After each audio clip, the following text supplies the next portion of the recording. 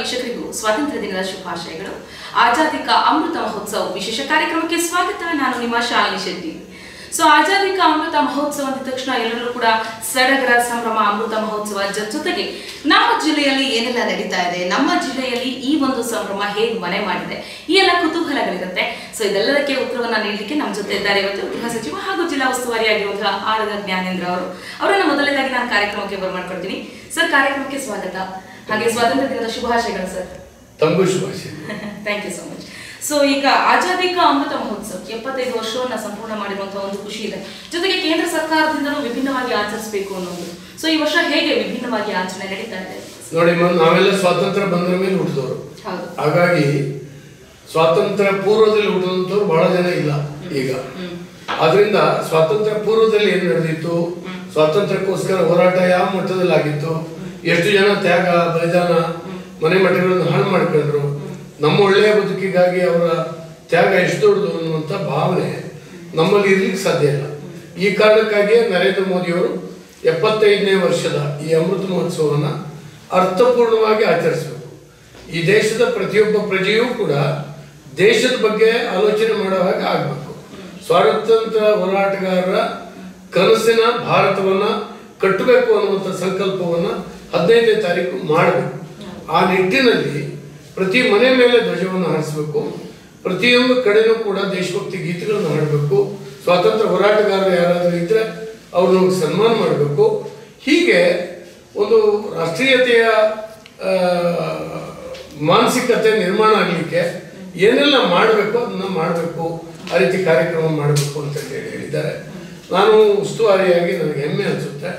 ಈಗಷ್ಟೇ ಹೋಗಿ ಎರಡು ಜನ ಸ್ವಾತಂತ್ರ್ಯ ಹೋರಾಟಗಾರರನ್ನ ಸನ್ಮಾನಿಸಿದೆ ನನ್ನ ಕೈಯಾರೆ ನನಗೆ ಹೃದಯ ತುಂಬಿ ಬಂತು. ಅವರಿಗೊಬ್ಬರಿಗೆ ನೂರ ಎರಡು ವರ್ಷ ವಯಸ್ಸು ಒಬ್ಬರಿಗೆ ತೊಂಬತ್ತ ಮೂರು ವರ್ಷ ವಯಸ್ಸು. ಹಾಗಾಗಿ ಅವರ ಆಶೀರ್ವಾದ ತಗೊಂಡು ಬಂದಿದ್ದೀನಿ ಅವರಿಗೆ ಸತ್ಕಾರ ಮಾಡಿ ಬಂದಿದ್ದೀನಿ. ನೀವು ಕೊಟ್ಟು ನೀವು ತಂದು ಕೊಟ್ಟಂಥ ಸ್ವಾತಂತ್ರ್ಯ ಈ ದೇಶದಲ್ಲಿ ನಾವೆಲ್ಲ ಉಪಯೋಗಿಸ್ಕೊಂಡು ಬದುಕ್ತಾ ಇದ್ದೀವಿ. ನಿಮಗೆ ಶುಭ ಹಾರೈಕೆಗಳು ಇನ್ನು ನಿಮ್ಮ ಆಯುಷ ಆರೋಗ್ಯ ವೃದ್ಧಿ ಆಗಲಿ ನಮಗೆ ಮಾರ್ಗದರ್ಶನ ಮಾಡುವಂಥ ಶಕ್ತಿ ಪರಮಾತ್ಮ ಭಾಳ ವರ್ಷ ಕೊಡಲಿ ಅಂತ ನಾನು ಶುಭ ಹಾರೈಸಿ ಬಂದಿದ್ದೇನೆ ಓಕೆ ಸರ್ ಸೊ ತುಮಕೂರಿನಲ್ಲಿ ಸೆಲೆಬ್ರೇಷನ್ ಅಥವಾ ಆಚರಣೆ ಅಂತ ನಾವು ಮಾತನಾಡೋದಾದ್ರೆ ಸೊ ಇತರೆ ಅಧಿಕಾರಿಗಳಿಗೆ ಏನೆಲ್ಲ ಇನ್ಸ್ಟ್ರಕ್ಷನ್ಸ್ ಕೊಟ್ಟಿದ್ದೀರಾ? ಹರ್ಗರ್ ಮೇ ತಿರಂಗ ಅಂತ ಅಂದಿದ ತಕ್ಷಣ ತಿರಂಗ ಹಾರಿಸೋದು ಒಂದು ಖುಷಿ ಆಯ್ತು ಅಂದ್ರೆ ರಾಷ್ಟ್ರಧ್ವಜಕ್ಕೆ ಅಷ್ಟೇ ಮರ್ಯಾದೆಯನ್ನ ಕೊಟ್ಟು ಅದನ್ನ ಇಳಿಸೋದು ಕೂಡ ತುಂಬಾ ಇಂಪಾರ್ಟೆಂಟ್ ಆಗುತ್ತೆ. ಗೈಡ್ ಲೈನ್ಸ್ ಬಗ್ಗೆ. ಈ ಸಾರಿ ಕೇಂದ್ರ ಸರ್ಕಾರ ಧ್ವಜ ಸಂಹಿತೆಯಲ್ಲಿ ಸ್ವಲ್ಪ ಬದಲಾವಣೆ ಮಾಡಿದೆ. ಆರು ಗಂಟೆ ಒಳಗಾಗಿ ಇಳಿಸಬೇಕಾಗಿತ್ತು ಆದರೆ ಈ ಸಾರಿ ಹದಿಮೂರನೇ ತಾರೀಕಿಂದ ಹದಿನೈದನೇ ತಾರೀಕು ಸಂಜೆಯವರೆಗೆ ತೆಗಿತೇನೆ ಹಾಗೇನು ಇಡ್ಬೋದು. ಆ ರೀತಿ ಒಂದು ಧ್ವಜ ಸಮಿತಿಯಲ್ಲಿ ಒಂದು ಸಣ್ಣ ಬದಲಾವಣೆಯನ್ನ ಮಾಡಿದೆ. ತುಮಕೂರು ಜಿಲ್ಲೆಯಲ್ಲಿ ಸುಮಾರು ನಾಲ್ಕು ಲಕ್ಷ ಧ್ವಜಗಳು ಬರ್ತದೆ. ಯಾರ್ಯಾರು ಸಪರೇಟ್ ತಂದಿದ್ದಾರೆ, ಆದರೆ ನಾಲ್ಕು ಲಕ್ಷ ಮನೆಗಳ ಮೇಲೆ ಒಟ್ಟು ಏಳುವರೆ ಲಕ್ಷ ಮನೆಗಳಿದ್ದಾವೆ ಈ ಜಿಲ್ಲೆಯಲ್ಲಿ ಅನ್ನುವಂಥದ್ದು ಒಂದು ಅಂದಾಜಿದೆ. ನಾಲ್ಕು ಲಕ್ಷ ಧ್ವಜಗಳನ್ನು ಡಿಸ್ಟ್ರಿಬ್ಯೂಷನ್ ಮಾಡುವಂಥ ಕೆಲಸ ಇವತ್ತು ನಡೆದಿದೆ. ಎಲ್ಲ ಮನೆಗಳ ಮೇಲೂ ನಾಳೆ ನಾಡಿದ್ದಿನಿಂದ ಹಾರುತ್ತೆ ಮತ್ತು ಅದು ವಿಶೇಷವಾಗಿ ಪ್ರಭಾತ ಬೇರಿಗಳನ್ನು ಮಾಡ್ತಾರೆ. ಎಲ್ಲ ಮನೆ ಮನೆಗೆ ಹೋಗಿ ಧ್ವಜವನ್ನು ಕೊಡುವಂಥದ್ದು ಕಾರ್ಪೊರೇಷನ್ ಕಡೆಯಿಂದ ಮತ್ತು ಸರ್ಕಾರ ಸರ್ಕಾರದ ಬೇರೆ ಬೇರೆ ಇಲಾಖೆಗಳು ಪೊಲಿಟಿಕಲ್ ಪಾರ್ಟಿಗಳು ಜೆ ಸಿಸ್ ರೋಟ್ರಿ ಲಯನ್ಸ್ ಮತ್ತು ಬೇರೆ ಬೇರೆ ವಾಲಂಟಿಯರ್ ಆರ್ಗನೈಸೇಷನ್ಗಳು ಎಲ್ಲರೂ ಕೂಡ ಈ ಹಬ್ಬದಲ್ಲಿ ಆಚರಿಸ್ಬೇಕು. ಇದೊಂದು ರಾಷ್ಟ್ರೀಯ ಹಬ್ಬ. ಇದೊಂದು ಸಂಭ್ರಮ ಸಡಗರದ ಹಬ್ಬ. ಹಾಗಾಗಿ ಎಲ್ಲರೂ ಕೂಡ ಭಾಗವಹಿಸುವ ಹಾಗೆ ಈಗಾಗಲೇ ಪ್ರಚಾರನೂ ಆಗಿದೆ ನಿಮ್ಮ ಮಾಧ್ಯಮಗಳಲ್ಲೂ ಬರ್ತಾ ಇದೆ. ಸರ್ಕಾರದ ಕಡೆಯಿಂದ ಬರ್ತಾ ಇದೆ. ಇನ್ನೊಂದು ಕೂಗ್ ಏನ್ ಕೇಳಿ ಬರುತ್ತೆ ಅಂದ್ರೆ ಸ್ವತಂತ್ರ ಹೋರಾಟಗಾರರು ಆ ಸಂದರ್ಭದಲ್ಲಿ ಪಾಲ್ಗೊಂಡವ್ರಿಗೆ ಪಿಂಚಣಿ ವ್ಯವಸ್ಥೆ ಅಥವಾ ಇತರೆ ಸೌಲಭ್ಯಗಳಿಲ್ಲ ಎಷ್ಟೋ ಜನ ಸೂರಿಲ್ಲದೆ ಬದುಕ್ತಾ ಇದ್ದಾರೆ ಅಂತ. ಆ ವಿಷಯಗಳೇನಾದ್ರೂ ನಿಮ್ ಗಮನಕ್ಕೆ ಬಂದಿದ್ಯಾ? ಈಗ ಒಬ್ಬರನ್ನ ಭೇಟಿ ಮಾಡ್ತಾರೆ ಅವರಿಗೆ ನಾವು ಜಮೀನು ಕೊಡ್ತೀವಿ. ಈಗ ನಾಳೆ ಅಪ್ಲಿಕೇಶನ್ ಫಾರ್ಮಿಗೆ ಸಿಗ್ನೇಚರ್ ಹಾಕಿಕೊಂಡು ಅದನ್ನ ಜಮೀನು ಕೊಡ್ಲಿಕ್ಕೆ ಏನು ವ್ಯವಸ್ಥೆ ಬೇಕು? ಮತ್ತು ಮೂರು ಲಕ್ಷ ರೂಪಾಯಿಗಳನ್ನು ಕೊಟ್ಟು ಒಂದು ಸೈಟನ್ನು ಕೊಟ್ಟು ಅವ್ರ ಮನೆ ಆ ಮಾಡಿ ಮಾಡಿದ್ವಿ. ಅವ್ರ ಮನೆಯೂ ಸುಸ್ತರ ಇಲ್ಲ. ರೋಡಿಗೆ ಹೋಗ್ಬಿಟ್ಟಿದೆ ಮನೆ. ಮತ್ತು ಅವ್ರಿಗೆ ಜಮೀನಿಲ್ಲ ಖಂಡಿತವಾಗೂ ಈ ಅಮೃತ ಮಹೋತ್ಸವದ ಸಂದರ್ಭದಲ್ಲಿ ಆ ಕುಟುಂಬ ಸಂತೋಷ ಆಗಿರೋ ಹಾಗೆ ನಾವು ಮಾಡ್ತೀವಿ. ನಮ್ಮ ಜಿಲ್ಲಾಡಳಿತಕ್ಕೆ ನಾನು ಸೂಚನೆ ಕೊಟ್ಟಿದ್ದೇನೆ. ಇನ್ನು ಉಸ್ತುವಾರಿ ಸಚಿವರಾಗಿ ಮಾತನಾಡೋದಾಯ್ತು ಅಂದ್ರೆ ತುಮಕೂರು ಜಿಲ್ಲೆ ಮತ್ತು ಇಲ್ಲಿ ನಡೀತಾ ಇರುವಂತಹ ಕಾರ್ಯಚಟುವಟಿಕೆಗಳು ಇವುಗಳ ಬಗ್ಗೆ ಏನೆಲ್ಲ ನಿಗಾ ವಹಿಸ್ತಾ ಇದ್ದೀರಾ ಮೇಡಮ್ ಇವತ್ತು ಇತ್ತೀಚೆಗೆ ಮಳೆಯಿಂದಾಗಿ ತುಂಬ ಕಷ್ಟದ ಪರಿಸ್ಥಿತಿ ನಿರ್ಮಾಣ ಆಯಿತು. ಸುಮಾರು ಎಂಟುನೂರ ಎಪ್ಪತ್ತೆರಡು ಮನೆಗಳು ಭಾಗಶಃ ಕುಸ್ತಿದ್ದಾವೆ ಅದಕ್ಕೆ ಪರಿಹಾರ ಕೊಡಲಿಕ್ಕೆ ಎಲ್ಲ ರೀತಿ ವ್ಯವಸ್ಥೆ ಆಗಿದೆ. ಎಂಟು ಜನ ಡೆತ್ ಆದರು. ಅವರಿಗೂ ಕೂಡ ಕೊಡುವಂಥ ಕೆಲಸ ಆಗಿದೆ, ಕೊಟ್ಟಾಗಿದೆ ಈಗ. ಈಗಾಗಲೇ ಸರ್ ಜಿಲ್ಲಾಡಳಿತ ಕಡೆ. ಇನ್ನೊಂದು ನಿಮ್ಮ ಜಿಲ್ಲೆನಲ್ಲಿ ಈ ಮಳೆ ಪ್ರಾರಂಭ ಆಗೋಕ್ಕಿಂತ ಒಂದು ವಾರ ಮೊದಲು ನಾನು ಹಾಸನ ಜಿಲ್ಲಾ ಉಸ್ತುವಾರಿ ಸಚಿವರ ಹತ್ರ ಮಾತಾಡಿದೆ ಗೋಪಾಲಯ್ಯನ ಹೇಮಾವತಿ ನೀರನ್ನ ಬಿಟ್ಕೊಡಿಯಪ್ಪ ದಯವಿಟ್ಟು ಸ್ಟಾರ್ಟ್ ಮಾಡಿ ನಾವು ತುಮಕೂರಿನ ಕುಡಿಯೋ ನೀರಿಗೋಸ್ಕರ ಕೆರೆಗಳನ್ನು ತುಂಬಿಸ್ಬೇಕಾಗಿದೆ ಅಂತ ಹೇಳಿದೆ ಅವ್ರು ಒಂದೆರಡು ದಿವಸ ತಡೀರಿ ಹಾಸನದಲ್ಲಿ ನಾವು ಮೀಟಿಂಗ್ ಮಾಡಿ ಅವ್ರಿಗೆ ಸೂಚನೆ ಕೊಡ್ತೀವಿ ಅಂತ ಹೇಳಿದರು. ಅದು ಯಾವ ಬೆಳಿಗ್ಗೆನಲ್ಲಿ ನಾವು ಹೇಳಿದ್ರು ಗೊತ್ತಿಲ್ಲ. ಹೇಮಾವತಿ ನೀರು ಬರದೇನೆ ಮಳೆಯ ನೀರನ್ನ ಕೆರೆಗಳನ್ನು ತುಂಬಿಸ್ತು. ತುಂಬಿಸಿದ್ದು ಮಾತ್ರ ಅಲ್ಲ ಸುಮಾರು ಇನ್ನೂರ ಎಂಬತ್ತು ಕೆರೆಗಳು ಸುಮಾರು ನಲವತ್ತು ವರ್ಷದಲ್ಲಿ ಕೋಡಿ ಬೀಳದಿರುವಂತಹ ಕೆರೆಗಳು ಈ ಸರಿ ಕೋಡಿ ಬಿಡ್ತು ಬಹಳ ಬಹಳ ದೊಡ್ಡ ಪ್ರಮಾಣದಲ್ಲಿ ಕೆರೆಗಳು ತುಂಬಿದ್ದಾವೆ. ಇವತ್ತು ನಾನು ಬಂದಾಗ ಹೇಳ್ತಾ ಇದ್ರು ಒಬ್ಬರಿಬ್ರು ಅನೇಕ ಬೋರ್ವೆಲ್ಗಳು ನೀರು ಹೊರಗೆ ಚಿಮ್ತಾ ಇದ್ದಾವೆ ಅಂತರ್ಜಲ ವೃದ್ಧಿ ಅಂತರ್ಜಲ ವೃದ್ಧಿಯಾಗಿದೆ ಹೀಗೆ ಇದು ಒಂದು ಕಡೆಯಿಂದ ಅಂತರ್ಜಲ ವೃದ್ಧಿ ಇದೆಲ್ಲವೂ ಕೆರೆ ತುಂಬಿದ ಸಂಭ್ರಮ ಆದರೂ ಕೂಡ ಇನ್ನೊಂದು ಕಡೆ ಅನಾಹುತಗಳು ಕೂಡ ಆಗಿದ್ದಾವೆ. ಮನೆಗಳು ಕುಸಿದಿದ್ದು ತೀರಾ ಜಮೀನಿಗೆ ಅಂತ ಒಂದು ಹೊಡ್ತಾರೆ ಆದಂಗಿಲ್ಲ ಯಾಕಂದ್ರೆ ನಾಟಿ ಆಗಿರಲಿಲ್ಲ. ಸ್ವಲ್ಪ ಅಡಿಕೆ ತೋಟಗಳು ಮುಳುಗಿದ್ದಾವೆ ಅದಕ್ಕೆ ಸ್ಪ್ರೇ ಮಾಡಿದ್ರೆ ಸರಿ ಹೋಗ್ತದೆ. ಇವತ್ತಿಂದ ಮಳೆ ಬಿಟ್ಟಿದೆ. ಆದರೂ ಕೂಡ ಒಂದಷ್ಟು ಅನಾಹುತ ಮಾಡಿದೆ. ಅದನ್ನು ಅದಕ್ಕೆ ಎಲ್ಲ ರೀತಿಯ ಸರ್ಕಾರದ ಕಡೆಯಿಂದ ನೆರವನ್ನು ಕೊಡ್ತೇವೆ. ಅವ್ರ ಜೊತೆಗೆ ನಾವಿದ್ದೇವೆ ಸರ್ಕಾರ ಇದೆ? ಅವ್ರಿಗೆ ಕಟ್ಸ್ಕೊಡುವಂತ ಹಣ ಕೊಡ್ತೇವೆ ನಾವು. ಎ ಬಿ ಸಿ ಮೂರು ಕ್ಯಾಟಗರಿ ಮಾಡ್ತೇವೆ. ಎ ಕ್ಯಾಟಗರಿಯಲ್ಲಿ ಇದ್ದವರಿಗೆ ಐದು ಲಕ್ಷ ಕೊಡ್ತೀವಿ. ಬಿ ನಲ್ಲಿದ್ದಾಗ ತೊಂಬತ್ತೈದು ಸಾವಿರ ರೂಪಾಯಿ ಕೊಡ್ತೇವೆ. ಸಿ ನಲ್ಲಿ ಇದ್ದವರಿಗೆ ಐವತ್ತು ಸಾವಿರ ರೂಪಾಯಿ ಕೊಡುವಂಥ ಕೆಲಸ ಆಗ್ತದೆ. ಸೊ ಈಗ ತುಮಕೂರು ನಗರ ಅಷ್ಟೇ ಅಲ್ಲ ಮಳೆಯಿಂದ ಬಾಧಿತ ಆಗಿದೆ ತುಮಕೂರಿನ ಬಹುತೇಕ ತಾಲೂಕು ಮತ್ತು ಎಲ್ಲ ತಾಲೂಕು ಅಂತ ಹೇಳ್ಬೋದು. ಅದರಲ್ಲಿ ವೇರಿಯೇಷನ್ಸ್ ಆಗಿದೆ. ಕೆಲವು ಕಡೆ ಜಾಸ್ತಿ ಹಾನಿ ಆಗಿದೆ ಕೆಲವು ಕಡೆ ಕಡಿಮೆ ಹಾನಿ ಆಗಿದೆ. ಬಟ್ ಆರ್ಗ ಜ್ಞಾನೇಂದ್ರ ಅವರು ತುಮಕೂರಿಗಷ್ಟೇ ಭೇಟಿ ನೀಡಿದ್ರು. ಎಲ್ಲ ಒಂದ್ ಕಡೆ ಹೋಗ್ಬಿಟ್ಟು ಬಂದ್ರು. ಆದ್ರೆ ಎಲ್ಲ ಕಡೆ ಯಾಕೆ ಬರ್ಲಿಲ್ಲ ಜಿಲ್ಲಾ ಉಸ್ತುವಾರಿಯಾಗಿ ಅನ್ನೋ ಪ್ರಶ್ನೆ. ಒಂದು ನಾನು ಎಲ್ಲಿ ಹೋಗಿದ್ದೀನಿ, ಹೋಗಲಿಲ್ಲ ಅನ್ನೋದಕ್ಕಿಂತ ಇಲ್ಲಿ ಅನೇಕ ಸರಿ ಬಂದಿದ್ದೀನಿ. ಇಡೀ ಬೇರೆ ಬೇರೆ ತಾಲೂಕಿನ ಅಧಿಕಾರಿಗಳನ್ನ ಕರ್- ಕರೆಸಿ ಇಲ್ಲೇ ಮಾತಾಡಿದ್ದೀನಿ. ಮತ್ತು ಅಲ್ಲಲ್ಲಿ ನಮ್ಮ ಶಾಸಕರುಗಳಿದ್ದಾರೆ, ಅವ್ರ ಜೊತೆ ನಾನು ಸಂಪರ್ಕ ಸಾಧಿಸಿದ್ದೀನಿ. ಆಯಾ ತಾಲೂಕು ಆಡಳಿತ ಮತ್ತು ಜಿಲ್ಲಾಡಳಿತದ ಜೊತೆಗೆ ಸದಾಕಾಲ ನಾನು ಟಚ್ಚಲ್ಲಿದ್ದೀನಿ. ಹಾಗಾಗಿ ಎಲ್ಲಿ ಏನಾಗ್ತದೆ ಅಂತ ಹೇಳಿ ನನಗೆ ತಕ್ಷಣ ಗೊತ್ತಾಗುತ್ತೆ, ಮತ್ತು ಅದಕ್ಕೆ ಪರಿಹಾರ ಸೂಚಿಸುವಂಥ ಸರ್ಕಾರದ ಕಡೆಯಿಂದ ನೆರವು ಕೊಡುವಂಥ ಕೆಲಸನೂ ಕೂಡ ಮಾಡ್ತಾ ಇದ್ದೀನಿ. ಎರಡು ರೀತಿಯಿಂದ ಒಂದು ನಾನು ಬಹು ಮಿನಿಸ್ಟ್ರು ತಮ್ಗೆ ಗೊತ್ತಿದೆ. ಹಾಗಾಗಿ ಇಡೀ ರಾಜ್ಯದ ಶಾಂತಿ ಸುವ್ಯವಸ್ಥೆ ಮತ್ತು ಆಗುಗಳನ್ನು ಅಪ್ಡೇಟ್ ಮಾಡ್ತಾ ಇರ್ಬೋದು ಇನ್ನೊಂದು ನನ್ನ ಕ್ಷೇತ್ರ ಮಲ್ನಾಡು. ತೀರ್ಥಹಳ್ಳಿ ಶಿವಮೊಗ್ಗ ಜಿಲ್ಲೆ ವಿಪರೀತ ಮಳೆ ವಿಪರೀತ ಮಳೆ ಪ್ರವಾಹ ಎಲ್ಲವೂ ಕೂಡ ಇದ್ದಾವೆ. ನಾನು ವಾರಕ್ಕೆ ಒಂದು ಎರಡು ಮೂರು ದಿವಸ ಅಲ್ಲಿ ಇರಬೇಕಾಗ್ತದೆ. ಈ- ಕಷ್ಟದ ಸಂದರ್ಭದಲ್ಲಿ ನಾನೊಬ್ಬ ಶಾಸಕನಾಗಿ ಅವ್ರ ಜೊತೆಗೆ ಇಲ್ಲದೆ ಇದ್ರೆ ಅದು ಕೂಡ ಕಷ್ಟನೇ ಹಾಗಾಗಿ ಇವೆಲ್ಲವನ್ನೂ ಕೂಡ ಸರಿದೂಗಿಸಲು ಹೋಗುವಂತ ಕೆಲಸ ಮಾಡಿ. ಸೊ ಈ ಬಿಸಿ ಸ್ಕೆಡ್ಯೂಲ್ ಹೆಂಗ್ ಹ್ಯಾಂಡಲ್ ಮಾಡ್ತಾ ಇದ್ದಾರೆ ಸರ್ ಯಾಕಂದ್ರೆ ಎಲ್ಲ ಕಡೆನೂ ಕೇಳೇ ಕೇಳ್ತಾರೆ. ಶಾಸಕರು ಬಂದಿಲ್ಲ ಕೇಳ್ತಾರೆ ಉಸ್ತುವಾರಿ ಬಂದಿಲ್ಲ ಕೇಳ್ತಾರೆ ಅಥವಾ ಗೃಹ ಸಚಿವರು ಬಂದಿಲ್ಲ ಅಂದ್ರೂ ಕೇಳ್ತಾರೆ. ಸೊ ಬ್ಯಾಲೆನ್ಸಿಂಗ್ ನೋಡಿ ಖಂಡಿತವಾಗೂ ನಾನು ಬ್ಯಾಲೆನ್ಸಿಂಗ್ ಮಾಡ್ಕೊಂಡು ಹೋಗ್ತಾ ಇದ್ದೀನಿ. ಇಲ್ಲಿಗೆ ಇಲ್ಲಿ ಟೂರ್ ಮಾಡಿದ್ದೀನಿ. ಅನೇಕ ಮಾಹಿತಿಗಳನ್ನು ಪಡೆದಿದ್ದೀನಿ. ಎಲ್ಲ ರೀತಿಯಿಂದ ಮಾಡ್ತೇನೆ ಬ್ಯಾಲೆನ್ಸಿಂಗ್ ಮಾಡ್ತೇನೆ. ಬಹುಶಃ ಒಬ್ಬ ಜಿಲ್ಲಾ ಉಸ್ತುವಾರಿ ಸಚಿವನ ಕೊರತೆ ಆಗಿದೆ ಅಂತ ಹೇಳಕ್ಕೆ ನಾನು ಅವಕಾಶ ಕೊಡಲಿಲ್ಲ. ಆ ರೀತಿ ನಾನು ನಿರ್ವಹಿಸಿದ್ದೆ. ಸೊ ಇನ್ನು ಮಾರ್ಕೂರ್ ಡ್ಯಾಮ್ ಕೂಡ ಬಿರುಕು ಬಿಟ್ಟಿದೆ ಅಂತ ಜನ ಆತಂಕದಲ್ಲಿದ್ದಾರೆ. ಅದ್ರ ಬಗ್ಗೆ ಏನಾದ್ರು ಬಿರುಕು ಬಿಡಲಿಲ್ಲ. ನನಗೆ ಗೊತ್ತಿದೆ. ಅದನ್ನ ಕೆ ಆರ್ ಸಿಂದ ತಜ್ಞರನ್ನು ಕರೆದು ಒಂದು ರಿಪೇರಿ ಕೂಡ ಮಾಡ್ತಾ ಇದ್ದೀವಿ. ನಾವು ವಾಲನ್ನ ಡೋರ್ನ ಇದು ಮಾಡಲಿಕ್ಕೆ. ಮತ್ತು ಹದಿನಾರು ಸಾವಿರ ಕ್ಯೂಸೆಕ್ಸ್ ನೀರು ಹೊರಗಡೆ ಹೋಗ್ತಾ ಇದೆ. ಇನ್ಫ್ಲೋ ಎಷ್ಟಿದೆ ಔಟ್ಫ್ಲೋನು ಕೂಡ ಅಷ್ಟೇ ಮಾಡ್ತಾ ಇದ್ವಿ. ತಜ್ಞರು ಬಂದು ಹೇಳಿದ್ದಾರೆ ಯಾವುದೇ ರೀತಿಯಿಂದ ಅದಕ್ಕೆ ತೊಂದರೆ ಇಲ್ಲ ಅಂತ ಯಾರು ಭಯ ಪಡಬೇಕಾದಂಥ ಅವಶ್ಯಕತೆ ಇಲ್ಲ. ನಾನು ಮೊನ್ನೆ ದಿನ ಮೀಟಿಂಗ್ ಮಾಡಿದಾಗ ನಾನು ಅದನ್ನೇ ಒತ್ತಿ ಹೇಳಿದ್ದು. ಇಲ್ಲಿಯ ಕೆರೆಗಳು ನಲವತ್ತೈದು ವರ್ಷದಿಂದ ಭರ್ತಿ ಆಗಲಿಲ್ಲ. ಹಾಗಾಗಿ ಆ ದಂಡೆಗಳು ದುರಸ್ತಿ ಆಗಲಿಲ್ಲ ಕೋಡಿಗಳು ಇಲ್ಲ ಅದೆಲ್ಲವೂ ಕೂಡ ಇದೆ. ಹಗಲಿರುಳು ಟ್ವೆಂಟಿ ಫೋರ್ ಇಂಟು ಸೆವೆನ್ ಕಾಯ್ತಾ ಇರಬೇಕು. ಏನಾದ್ರು ಅನಾಹುತ ಆಗುವ ಅಪಾಯಕಾರಿ ಸ್ಥಿತಿ ಕಂಡ್ರೆ ಅದನ್ನ ನೀರನ್ನ ಹೊರಗೆ ಪಾಸ್ ಮಾಡ್ಲಿಕ್ಕೆ ಏನ್ ಮಾಡಬೇಕು ಮಾಡಬೇಕು ಅಂತೇಳಿ. ಎಲ್ಲ ಇಂಜಿನಿಯರ್ಗಳಿಗೆ ಅದು ಮೈನರ್ ಇರಿಗೇಷನ್ ಇರ್ಬೋದು, ಅದು ಹೆಮಾತ್ ಇರ್ಬೋದು, ಅದು ಆರ್ ಟಿ ಪಿ ಇದು D R D P R engineer ಇರ್ಬೋದು ಎಲ್ಲರೂ ಕೂಡ ನಾನು ಎಚ್ಚರಿಕೆ ಕೊಟ್ಟಿದ್ದೀನಿ. ಅದೇ ರೀತಿ ಕಾಯ್ತಾ ಇದ್ದಾರೆ. ಯಾವುದೇ ಅನಾಹುತಗಳು ಆಗಲಿಲ್ಲ. ಇವತ್ತಿನಿಂದ ಸ್ವಲ್ಪ ಬಿಸಿಲು ಬಂದಿದೆ, ಏನು ತೊಂದರೆ. ಹಾಗೆ ಸರ್. ಇನ್ನೊಂದು ವಿಷಯ ಏನಂತಂದ್ರೆ ರಾಜಕಾಲುವೆ ಒತ್ತುವರಿಯಾಗಿದೆ ಹಲವು ಕಡೆ ಅನ್ನುವಂಥದ್ದು. ಅದಕ್ಕೆ ಸರ್ವೆ ಮಾಡಲಿಕ್ಕೂ ಕೂಡ ಸೂಚನೆಗಳು ಸಿಕ್ಕಾಗಿದೆ. ಈ ಬಗ್ಗೆ ಎಷ್ಟು ಸ್ಟ್ರಿಕ್ಟ್ ಆಗಿ ಕ್ರಮ ತಗೊಳ್ತಾರೆ? ಖಂಡಿತಮ್ಮ ನಾವು ಯಾಕಂದ್ರೆ ಜನ ಹೇಳ್ತಾರೆ. ಏನೋ ಒಂದು ಸಣ್ಣ ಮಳೆ ಬಂದು ಕೂಡಲೇ ರಸ್ತೆ ಮೇಲೆ ಬಂತು ಅನಾಹುತ ಆಯ್ತು ಹಾಗಾಗಿ ಯಾರು ರಾಜಕಾಲುವೆಯನ್ನ ದುರಾಸೆಯಿಂದ ಒತ್ತಿ ಬಿಲ್ಡಿಂಗ್ ಕಟ್ಟಿದ್ದಾರೆ ಅದನ್ನ ಸರ್ವೆ ಮಾಡ್ತಾರೆ ಮತ್ತೆ ಅದನ್ನ ತೆರವು ಮಾಡುವಂತ ಕೆಲಸ ಮಾಡಲೇಬೇಕು.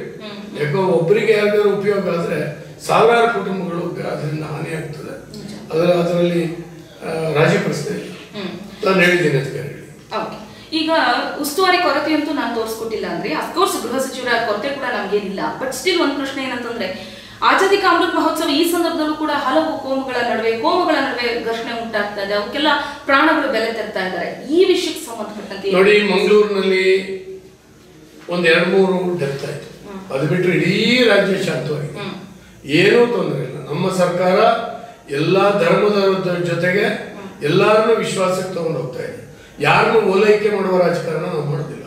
ಎಲ್ಲರೂ ಸಮಾನರು ಅನ್ನುವಂಥ ನಿಟ್ಟಿನಲ್ಲಿ ನಾವು ತಗೊಂಡು ಹೋಗ್ತಾ ಇದ್ದೀವಿ. ಸ ಭ್ರಾತೃತ್ವ ಸಹೋದರತ್ವ ಇದು ನಮ್ಮ ಸರ್ಕಾರದ ಕಡೆಯಿಂದ ಇದೆ ಏನು ತೊಂದರೆ ಇಲ್ಲ. ಇಡೀ ರಾಜ್ಯದ ಶಾಂತಿ ಸುವ್ಯವಸ್ಥೆಯನ್ನು ನಾವು ಚೆನ್ನಾಗಿ ನಿರ್ವಹಿಸ್ತೀವಿ ಓಕೆ ಸೊ ಇನ್ನು ನಿಮ್ಮ ಕ್ಷೇತ್ರ ಮತ್ತು ಅಲ್ಲಿನ ಅಭಿವೃದ್ಧಿಗಳು ಈಗಾಗಲೇ ಸಾಕಷ್ಟು ಅಭಿವೃದ್ಧಿ ಕಾಣ್ತಾ ಇದೆ. ಸೊ ಆ ವಿಷಯಕ್ಕೆ ಸಂಬಂಧಪಟ್ಟಂತೆ ಏನು ಹೇಳ್ತೀರಾ? ನೋಡಿ ನಾವು ಒಂದು ಸಾವಿರ ಕೋಟಿಗಿಂತ ಹೆಚ್ಚು ಹಣ ನನ್ನ ನಾಲ್ಕು ವರ್ಷದಲ್ಲಿ ಬಂದಿದೆ. ತೀರ್ಥಹಳ್ಳಿ ಇತಿಹಾಸದಲ್ಲಿ ಬರದೇ ಇರೋಷ್ಟು ಅಭಿವೃದ್ಧಿ ಕಾರ್ಯಗಳನ್ನ ನಾನು ತಗೊಂಡೋಗಿದ್ದೇನೆ. ಯಾಕಂದ್ರೆ ನಾನೊಬ್ಬ ಸಾಮಾನ್ಯ ಮನೆತನದಿಂದ ಬಂದಿರತಕ್ಕಂಥದ್ದು. ನಾನು ಹುಟ್ಟಿ ಬೆಳೆದಿದ್ದನ್ನು ಯೋಚನೆ ಮಾಡಿದ್ರೆ ನಾವೆಲ್ಲ ಈ ಮಂತ್ರಿ ಶಾಸಕ ಸ್ಥಾನ ಕನಸು ಕೂಡ ಕಾಣ್ಲಿಕ್ಕೆ ಸಾಧ್ಯ ಆಗ್ತದೆ. ನನ್ನ ಕ್ಷೇತ್ರ ಜನ ನನ್ನನ್ನು ಅತ್ಯಂತ ಪ್ರೀತಿಯಿಂದ ನೋಡ್ಕೊಂಡಿದ್ದಾರೆ ನನ್ನಂಥವನ್ನು ಬೆಳೆಸಿದ್ದಾರೆ. ನಾಲ್ಕನೇ ಬಾರಿಗೆ ಶಾಸಕನಾಗಿ ಶಾಸನ ಸಭೆ ಕಳಿಸಿದ್ದಾರೆ. ಈ ಹಿನ್ನೆಲೆಯಲ್ಲಿ ನಾನು ಅಷ್ಟೇ ಜವಾಬ್ದಾರಿಯುತವಾಗಿ ಹೊಣೆಗಾರಿಕೆಯಿಂದ ವರ್ತಿಸಿದ್ದೇನೆ.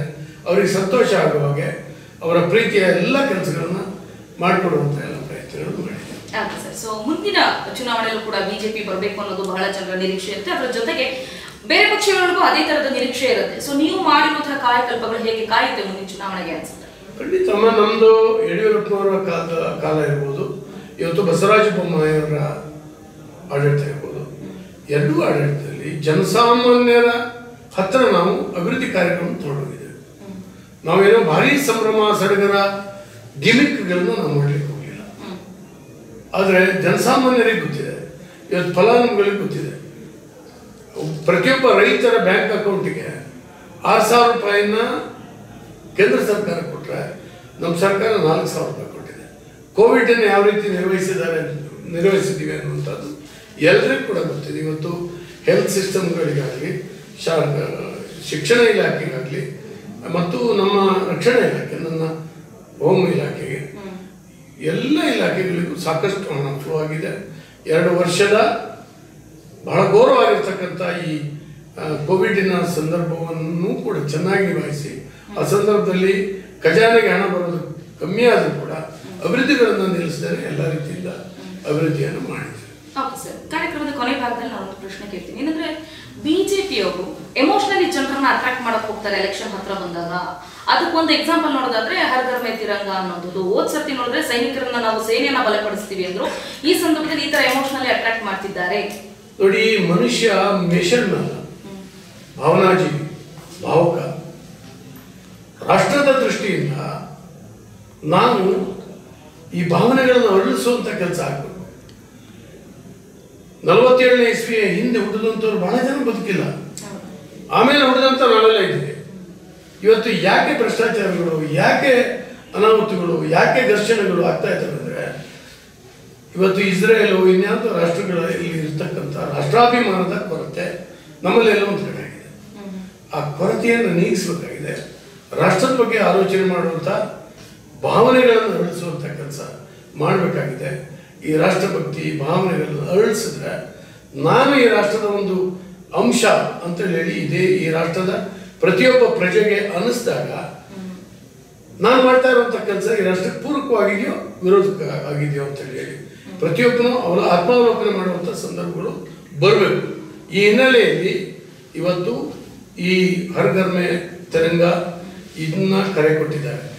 ಕೋವಿಡ್ ಸಂದರ್ಭದಲ್ಲಿ ಜಾಗ್ರತೆ ಹೊಡೆಯೋದು ಜು- ಬೆಳಕು ಹಚ್ಚೋದು ಚಪ್ಪಾಳೆ ತಟ್ಟೋದು ಕೊಟ್ಟರು ಬಹಳ ಜನ ಟೀಕೆ ಮಾಡಿದ್ರು. ಅಂದ್ರೆ ಅದೊಂದು ಭಾವನೆಯನ್ನು ಅರಳಿಸುವಂತ ಕೆಲಸ.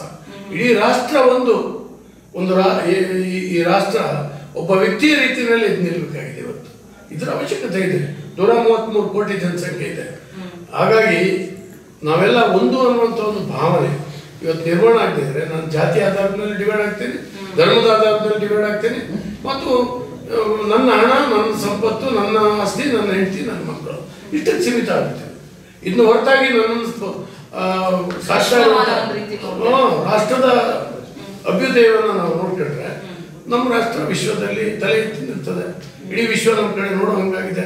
ಈಗ ಎಂಟು ವರ್ಷದ ಮೋದಿ ಆಡಳಿತದಲ್ಲಿ ಬದಲಾವಣೆ ಆಗಲಿಲ್ಲ ಹೇಳಿ? ಖಂಡಿತವಾಗೂ ಈ ಬದಲಾವಣೆಯನ್ನು ನಾವು ಕಾಣ್ತೇವೆ. ರಾಷ್ಟ್ರದ ಜೊತೆಗೆ ಕೈ ಜೋಡಿಸಬೇಕು ಜನ. ಈ ಕಾರಣಕ್ಕಾಗಿ ಭಾವನಾತ್ಮಕವಾಗಿಯೂ ಕೂಡ ಅನೇಕ ಕಾರ್ಯಕ್ರಮಗಳನ್ನು ಕೊಡ್ತಾ ಇದೆ ಸೊ ಈಗ ಅನೇಕ ಜನ ಟೀಕೆ ಟಿಪ್ಪಣಿ ಮಾಡ್ತಾರೆ. ಅದು ಪಕ್ಷ ಹೊರತುಪಡಿಸಿ ಸಾಮಾನ್ಯ ನಾಗರಿಕರಾಗಿನೂ ಕೂಡ. ಇಲ್ಲ ಮೋದಿ ಭಾಷಣದಲ್ಲಿ ಹೇಳ್ತಾರೆ ಕೆಲವೊಂದಷ್ಟು ಇಂಪ್ಲಿಮೆಂಟ್ ಆಗಲ್ಲ. ಬಿಜೆಪಿ ಭಾಷಣ ಕೇಳ್ತಾರೆ ಕೆಲವೊಂದಷ್ಟು ಇಂಪ್ಲಿಮೆಂಟ್ ಆಗಲ್ಲ. ಏನಿದು? ಇಷ್ಟು ವರ್ಷದನ್ನೆಲ್ಲ ಒಂದೇ ಸತಿ ಇಂಪ್ಲಿಮೆಂಟ್ ಆಗೋಕ್ಕಾಗಲ್ಲ ಅಂತ ಅಥವಾ ಟೇಕ್ಸ್ ಟೈಮ್ ಅಂತ ಏನ್ ಹೇಳ್ತೀವಿ ಯಾವ್ದು ಆಗ್ಲಿಲ್ಲ ಅಂತ ಹೇಳಿ. ಒಬ್ಬ ಬಡವರಿಗೆ ಒಂದು ಕುಟುಂಬಕ್ಕೆ ಐದು ಲಕ್ಷ ರೂಪಾಯಿ ಇನ್ಶೂರೆನ್ಸ್ ಯಾವ ಕಾಲದಲ್ಲಿ ಬಂದಿತ್ತು ಹೇಳಿ. ಹಾರ್ಟು ಕಿಡ್ನಿಯು ಕ್ಯಾನ್ಸರು ಆಪರೇಷನ್ ಆಗಬೇಕು ಅಂತ ಒಬ್ಬ ದಲಿತನ ಮನೆಯಲ್ಲಿ ನಿಂತು ನಾವು ನೋಡಬೇಕು. ಅವ್ರು ಇವತ್ತು ದೊಡ್ಡ ದೊಡ್ಡ ಆಸ್ಪತ್ರೆ ಟ್ರೀಟ್ಮೆಂಟ್ ಮಾಡ್ಕೊಂಡ್ರೆ ಐದು ಲಕ್ಷ ರೂಪಾಯಿ ಅವರಿಗೆ ಬರ್ತದೆ. ಇನ್ಶೂರೆನ್ಸು ಪ್ರತಿಯೊಂದು ಬ್ಯಾಂಕ್ ಅಕೌಂಟ್ಗಳನ್ನ ತೆರೆದು ಯಾಕಂದ್ರೆ ಬ್ಯಾಂಕ್ ನ್ಯಾಷನಲೈಸ್ ಆದ್ರ ಮೇಲೂ ಕೂಡ ಬ್ಯಾಂಕ್ ಕಡೆ ಹೋಗದೆ ಇರುವಂತ ಬಡವರು ಕೋಟಿ ಕೋಟಿ ಜನ ಈ ಸರಿ ಬ್ಯಾಂಕ್ ಅಕೌಂಟ್ ಮಾಡಿದ್ರು ಯಾಕಂದ್ರೆ ಮ್ಯಾನೇಜರ್ನೇ ಮೋದಿ ಕಳಿಸಿ ಮನೆ ಮನೆಯಲ್ಲಿ ಬ್ಯಾಂಕ್ ಅಕೌಂಟ್ ಮಾಡಿಸೋದು. ಅದರ ಪರಿಣಾಮವಾಗಿ ಪ್ರತಿಯೊಂದು ಸರ್ಕಾರದ ಯೋಜನೆಗಳು ಸಬ್ಸಿಡಿಗಳು ಸಹಾಯಧನಗಳು ಥ್ರೂ ಬ್ಯಾಂಕ್ ಹೋಗ್ತಾ ಇದ್ದಾವೆ ನಮಗೆ ನಿಮಗೆ ಕೈ ಎತ್ತಿಸಿದ್ರೆ ಮಾತ್ರ ಕೈ ಎತ್ತಾರೆ. ನಿಮ್ಗೆ ಆರು ಸಾವಿರ ರೂಪಾಯಿ ಹತ್ತು ಸಾವಿರ ರೂಪಾಯಿ ಯಾರಿಗೆ ಬಂದಿದೆ ಕೈ ಎತ್ತಿ ನೋಡೋಣ ಅಂತ ಹೇಳಿದ್ರು ಹಾಗೆ ಸತ್ತಿಲ್ದೇನೆ ಜನರ ಮನೆ ಬಾಗಿಲಿಗೆ ಸರ್ಕಾರದ ಯೋಜನೆಗಳು ತಲುಪ್ತಾ ಇದ್ದಾವೆ ಇದು ಮೋದಿ ಸರ್ಕಾರ. ಇವತ್ತು ಇದ್ರ ಜೊತೆಗೆ ಸೈನ್ಯವನ್ನು ಬಲಪಡಿಸಿದ್ದಿರ್ಬೋದು.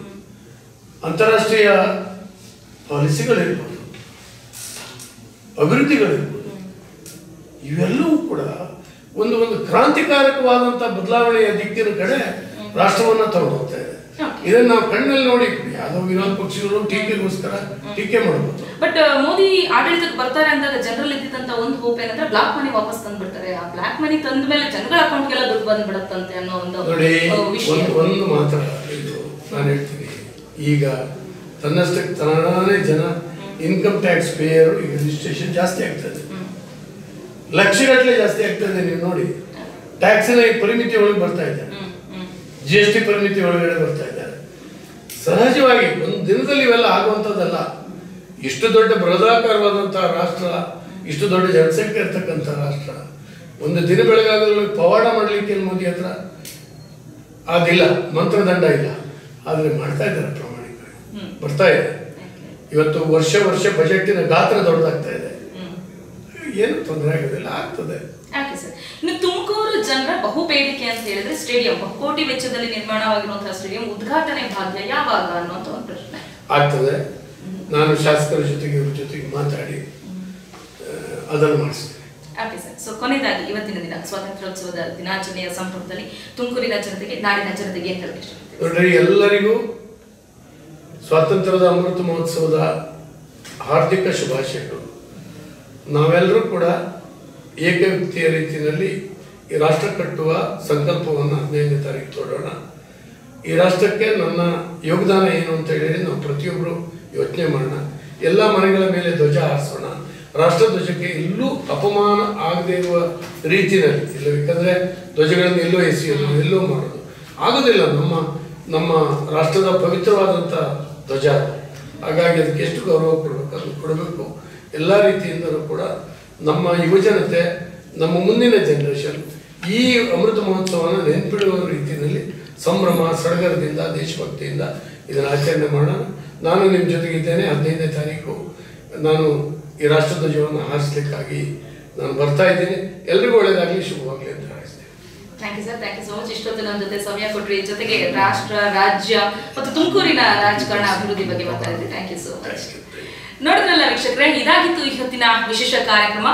ಇಷ್ಟೆಲ್ಲ ಮಾಹಿತಿಗಳನ್ನ ನೀವು ತಿಳಿದುಕೊಂಡ್ರೆ ಈಗ. ಯಾಕಂತಂದ್ರೆ ಒಂದ್ ಕಡೆ ಗೃಹ ಸಚಿವರು ತಮ್ಮ ಜವಾಬ್ದಾರಿಯನ್ನು ನಿರ್ವಹಿಸಬೇಕು. ಜೊತೆಗೆ ತುಮಕೂರಿನ ಉಸ್ತುವಾರಿ ಹಾಗೆ ಅವರ ಕ್ಷೇತ್ರದ ಶಾಸಕ. ಈ ಎಲ್ಲಾ ರೋಲ್ಗಳನ್ನ ಪ್ಲೇ ಮಾಡ್ತಾ ನಾಡಿನ ಸುವ್ಯವಸ್ಥೆ ಜೊತೆಗೆ ನಮ್ಮ ಜಿಲ್ಲೆಯ ಕಡೆ ಕೂಡ ಗಮನ ಕೊಡ್ತಾ ಇದ್ದೀನಿ. ನಾನೆಲ್ಲೂ ಕೂಡ ಉಸ್ತುವಾರಿ ಸಚಿವರ ಕೊರತೆಯನ್ನ ನಾನು ಮಾಡಿಕೊಟ್ಟಿಲ್ಲ. ನಾನು ಹಿಂದೆ ಹೋದ್ರೂ ಕೂಡ ನಾನೆಲ್ಲಾ ಮಾಹಿತಿಯನ್ನ ತಿಳ್ಕೊಳ್ತಾ ಇದ್ದೀನಿ ಅಂತ ಹೇಳಿದ್ರು. ಅದರ ಜೊತೆಗೆ ಸ್ವತಂತ್ರ ದಿನದ ದಿವಸ ಶುಭಾಶಯಗಳನ್ನ ಕೋರಿದ್ದಾರೆ. ಅದರ ಜೊತೆ ನಮ್ಮ ರಾಷ್ಟ್ರ ಧ್ವಜಕ್ಕೆ ಯಾವ ರೀತಿ ಗೌರವ ಕೊಟ್ಟು ನಾವು ಧ್ವಜವನ್ನ ಹಾರಿಸ್ತೀವೋ ಅದೇ ರೀತಿ ಅದನ್ನ ಕಾಪಾಡ್ಕೊಳ್ಬೇಕು ಅನ್ನೋಂಥ ಸಂದೇಶವನ್ನ ನೀಡಿದ್ದಾರೆ. ಈ ಒಂದು ಸಂಭಾಷಣೆ, ಈ ಒಂದು ಮಾತುಕತೆ ನಿಮ್ಗೆ ಇಷ್ಟ ಆಯ್ತು ಅಂತ ಭಾವಿಸ್ತಾ ಈ ಕಾರ್ಯಕ್ರಮವನ್ನ ಮುಗಿಸ್ತಾ ಇದ್ದೀನಿ. Dokter Yamuk TV ya dediku di Mondige.